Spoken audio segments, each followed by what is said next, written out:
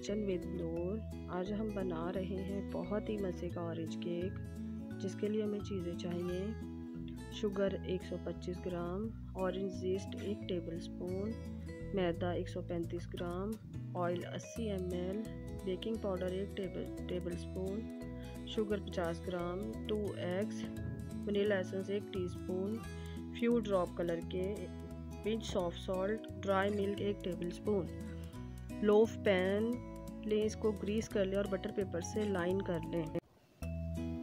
एक पतीला लें और उसमें हमने एक जाली का स्टैंड रख दिया। अब इसको प्री हीट होने देंगे हम 15 मिनट के लिए तेज़ आँच पर। दो अंडों में चीनी डालें और इसको बहुत अच्छे से बीट करें। अंडे और चीनी का मिक्सचर को बहुत अच्छे से बीट कर लें। जब तक ये फ्लफ़ी ना हो जाए ये बहुत अच्छे से फ्लफ़ी हो चुका है। अब इसमें हम ऑयल ऐड करेंगे। थोड़ा थोड़ा करके ऑयल डालें और बीट करते जाएँ। एक मिनट के लिए बीट करें। वनीला एसेंस डालें। ऑरेंज के बारीक कटे हुए छिलके डालें। और इसको बहुत अच्छे से मिक्स कर लें। ये मिक्स हो चुके हैं। ड्राई मिल्क पाउडर डालें।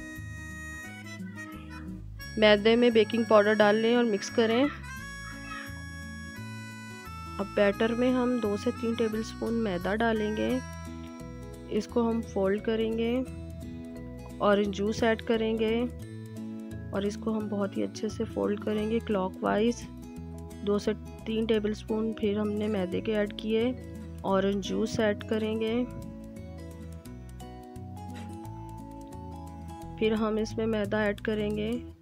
और ऑरेंज जूस ऐड करके इसको हम बहुत ही अच्छे से मिक्स कर लेंगे। फ्यू ड्रॉप ऑरेंज कलर के डालेंगे। इसको मिक्स करेंगे। हमारा ऑरेंज केक का बैटर तैयार है। इसको हम पैन लेंगे। इसको हम पहले से ग्रीस कर चुके हैं। और पूरा बैटर हमने पैन में डाल दिया। अब हमने जो पतीला प्री हीट करने के लिए रखा था, वो प्री हीट हो चुका है। अब इस पर हमने अपना केक बेक होने के लिए रख दिया। इसके, इसको हमने लो टू मीडियम फ्लेम पे बेक करना है। 35 से 40 मिनट हो चुके हैं। ये देखें हमारा केक बहुत ही अच्छे से बेक हो चुका है। बहुत ही अच्छा कलर आया है। और ये अंदर से बहुत ही अच्छा पक चुका है। ये देखे बिल्कुल भी कच्चा नहीं है। इसको हम निकाल लेते हैं। इसको हम थोड़ी देर ठंडा होने देंगे। ये देखें, ये ठंडा हो चुका है। अब हम नाइफ से इसकी साइड निकाल लेते हैं। इसकी साइडें रिमूव कर लें और इसको हम डिश में निकाल लेते हैं।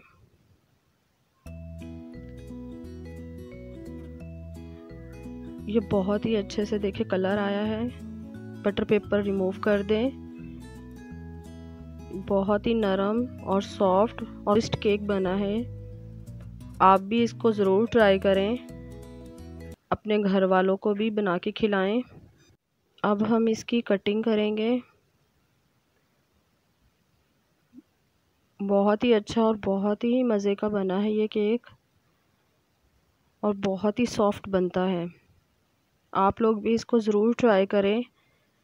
अगर आपको मेरी ये रेसिपी पसंद आई है तो मेरे चैनल को सब्सक्राइब करें लाइक करें शेयर करें। ये देखें, बहुत ही सॉफ्ट और मॉइस्ट केक बना है। और कमेंट करके बताएँ कि आपको ये रेसिपी कैसी लगी। अपना बहुत सारा ख्याल रखिएगा। अल्लाह हाफिज़।